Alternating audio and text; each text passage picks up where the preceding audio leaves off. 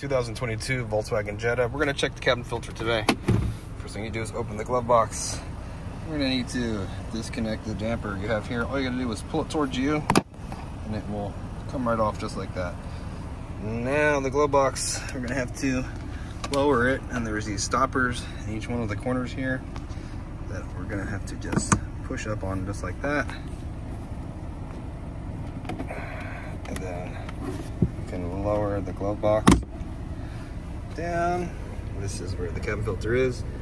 Uh, this door is gonna come off. You're gonna have these three clips right here that you're gonna need to push down on. They can be kind of hard to do with your fingers. So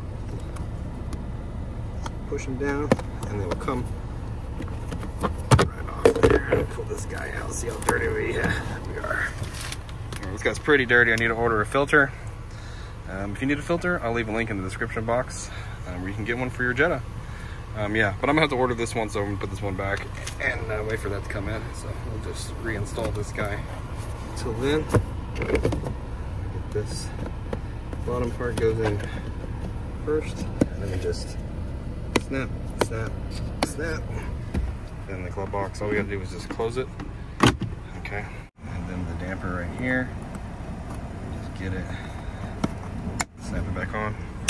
Done. Hope the video was helpful and it was. Appreciate it if you like and subscribe.